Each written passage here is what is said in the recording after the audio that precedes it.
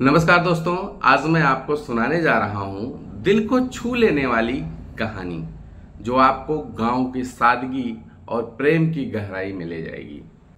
यह कहानी पलासपुर गाँव की है, जहाँ हरे भरे खेत, मिट्टी की खुशबू और लोगों की सादगी बसती है।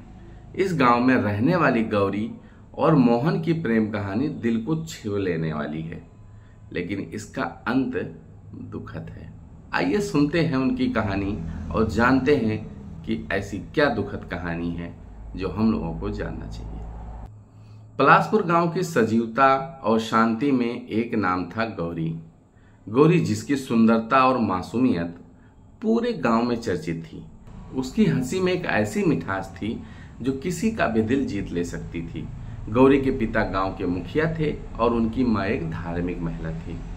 गौरी का दिल गाँव के एक साधारण लेकिन मेहनती युवक मोहन के लिए धड़कता था। मोहन एक गरीब परिवार से था, लेकिन उसकी ईमानदारी और मेहनत उसे गाँव का प्रिय बना दिया था। उसकी माँ बचपन में ही गुजर गई थी और उसके पिता ने ही उसको पाला था। गौरी और मोहन की पहली मुलाकात गाँव के मंदिर के पास हुई थी। मोहन अपने पिता के साथ मंदिर आया था और गौरी अपनी माँ के साथ आई थी। उसकी नज़रें मिली और दिल में अजीब सा एहसास हुआ। धीरे धीरे उनकी मुलाकातें बढ़ने लगी और वह एक दूसरे के करीब आ गए। एक दिन मोहन ने गौरी से अपने दिल की बात कह दी। बोला, गौरी, मैं तुमसे बहुत प्यार करता हूँ। क्या तुम मेरे साथ पूरी ज़िंदगी बिताने के लिए तैयार हो? गौरी की आँखों में आँसू आ गए। उसने मोहन को गले लगा लिया और कहा हाँ मोहन, मैं तुमसे बहुत प्यार करती हूँ। लेकिन गाँव की परंपराएँ और सामाजिक नियमों ने उनके प्यार के रास्ते में बड़ी दीवार खड़ी कर दी है। गौरी उच्च जाति की थी, जबकि मोहन निम्न जाति का था। यह अंतर दोनों के परिवारों और समाज के लिए असहनीय था। दोनों का प्यार गहरा होता चला गया और वह एक दूसरे से मिलने लगे। गौरी के पिता ने जब उसकी और मोहन की प्रेम कहानी सुनी तो वह आग बबूला हो गई। उन्होंने गौरी को घर के कमरे में बंद कर दिया और उसे मोहन से मिलने के लिए सख्त मना कर दिया। गौरी की माँ ने भी उसे समझाने की कोशिश की कि, बेटी, यह समाज कभी हमारे रिश्ते को स्वीकार नहीं करेगा। हमें इन परंपराओं का पालन करना चाहिए। दूसरी ओर मोहन के पिता ने भी उसे समझाया, बेटा, हम गरीब हैं और निम्न जाति के हैं। हमें इस समाज की सीमाएँ समझनी होगी। यह प्यार हमें बर्बाद कर देगा। गौरी और मोहन के लिए यह समय बहुत कठिन था। वह एक दूसरे से मिलने के लिए तरसते रहे, लेकिन गाँव की दीवारों ने उन्हें दूर कर दिया। फिर भी उसका प्यार कभी कम नहीं हुआ। एक दिन मोहन ने गौरी से मिलने का फैसला किया। रात के अंधेरे में वह चोरी छिपे गौरी के घर के पास पहुँचा और उसकी खिड़की के नीचे से खड़ा हो गया और बोला, गौरी, क्या तुम मुझे सुन सकती हो? उसने धीरे से पुकारा। गौरी ने खिड़की खोली और उसे देखा, मोहन, मुझे तुमसे मिलकर बहुत खुशी हो रही है, लेकिन यह बहुत समय खतरनाक है। लेकिन यह बहुत खतरनाक है। मोहन, तुम यहाँ से चले जाओ, नहीं तो लोग बहुत परेशान करेंगे हमको और तुमको। मोहन ने उसका हाथ पकड़ा और कहा, गौरी, चलो। हम इस गाँव को छोड़कर कहीं दूर चले जाते हैं, जहाँ कोई हमें नहीं जानता हो। वहाँ हम अपनी नई ज़िंदगी शुरू करेंगे गौरी ने कुछ पल सोचा और फिर सहमति में सिर हिलाया। कहा हाँ मोहन मैं तुम्हारे साथ कहीं भी चलूँगी। अगली रात दोनों ने भागने की योजना बनाई। वह गाँव के बाहरी इलाके में मिले और वहाँ से चल पड़े।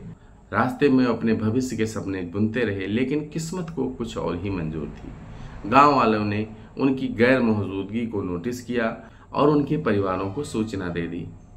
गौरी और मोहन अभी कुछ ही दूर पहुँचे थे कि गाँव वाले जो उन्हें ढूंढ रहे थे वहाँ पहुँच गए। उन्होंने दोनों को पकड़ लिया और गाँव वापस ले आए। गाँव के पंचायत ने यह फैसला किया कि दोनों को सजा दी जाए ताकि भविष्य में कोई और इस तरह से गलती ना करे। गौरी और मोहन को गाँव के चौपाल में लाया गया। दोनों के चेहरे पर डर और दुख साफ़ नज़र आ रहा था। गौरी के पिता ने रोते हुए कहा, गौरी तुमने हमारा मान मर्यादा मिट्टी में मिला दिया। मोहन के पिता ने भी सिर झुकाकर कहा, बेटा, तुमने हमें शर्मिंदा कर दिया। फिर पंचायत ने फैसला सुनाया कि दोनों को गाँव से निकाल दिया जाए और वह कभी भी वापस नहीं आ सके। गौरी और मोहन एक दूसरे को आखिरी बार गले लगाए और आंसुओं को पूछे और दोनों एक साथ गाँव से बाहर चले गए।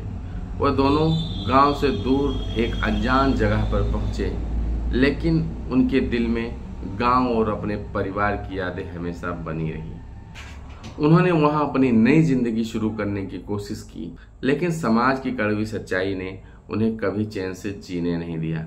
कुछ साल बाद एक दिन मोहन बीमार पड़ गया। उसके पास इलाज कराने के लिए भी पैसे नहीं थे। गौरी ने बहुत कोशिश की, लेकिन उसे बचा नहीं पाई। मोहन की मौत हो गई। मोहन के मौत के बाद गौरी का दिल टूट गया, वह अकेली रह गई। लेकिन उसने मोहन की यादों को अपने दिल में ज़िंदा रखा। मोहन ने कहा था कि हम लोग एक ऐसा स्कूल बनाएँगे, जिसमें गरीब और अनाथ बच्चे पढ़ेंगे, जो आगे बढ़ेंगे। गौरी ने मोहन के सपने को पूरा करने का फैसला किया। उसने एक छोटे से स्कूल की स्थापना की, जहाँ गाँव के गरीब बच्चों को शिक्षा मिल सके। उसने अपना पूरा जीवन मोहन की यादों के साथ बिताया, लेकिन कभी किसी से प्यार नहीं गौरी की कहानी पलासपुर गाँव में एक मिसाल बन गई। लोग उनके प्यार की कदर भी करने लगे और धीरे धीरे समाज में बदलाव भी आया। लेकिन गौरी और मोहन की दुखद प्रेम कहानी हमेशा यादगार बनी रह गई। जो सिखाती है कि सच्चा प्यार कभी मरता नहीं, वह हमेशा दिलों में ज़िंदा रहता है। दोस्तों, अगर आपको यह कहानी पसंद आई हो तो हमारे चैनल को सब्सक्राइब करें, बेल के निशान को ज़रूर दबाएँ और इस वीडियो को लाइक और शेयर करना ना भूलें। मिलते हैं अगली बार किसी और नई और दिलचस्प कहानी के साथ।